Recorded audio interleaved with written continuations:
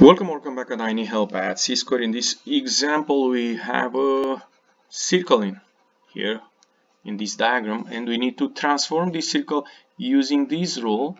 And if you notice, this rule is a translation.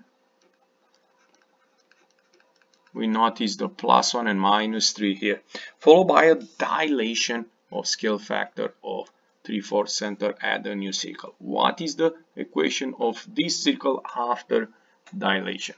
For finding the equation of this circle, obviously we need to find the center and the new circle and the radius.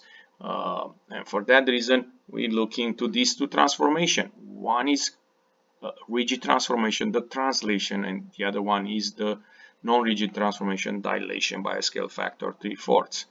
And these two transformation will change the position of the center and how long the radius is. So let's take a look how we do that. First of all, I'm going to take this uh, translation I mentioned in the beginning and we can approach this translation graphically or algebraically. The translation is going to affect the position of the center. So in this case, A is negative 3 and 2.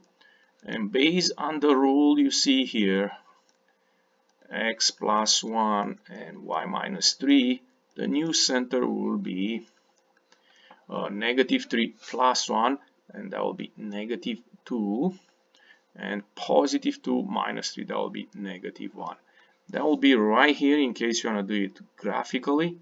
Yes is 1 uh, right and 3 down in case you need that and we know the center like I said we need the radius of the new circle. For that reason I'm going to look to the radius of the given circle which if you notice is 1 2 3 4 units.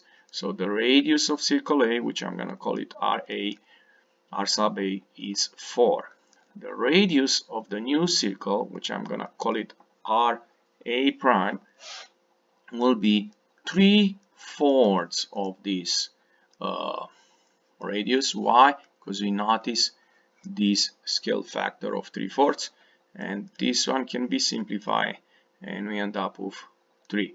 The radius of the new circle will be 3.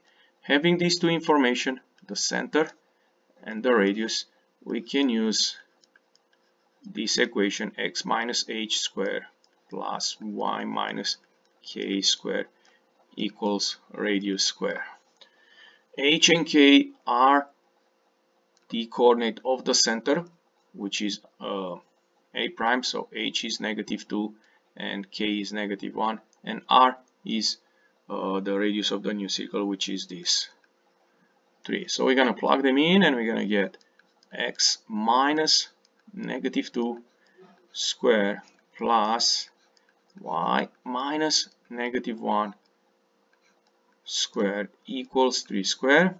The last thing I'm going to do here is to simplify and the final answer will be x plus 2 squared because those two negative cancel out and here the plus plus y plus 1 square and 3 square is 9. This is the equation of the circle A after we translate using this rule and we dilate it by a scale factor of 3 4 center of the new circle.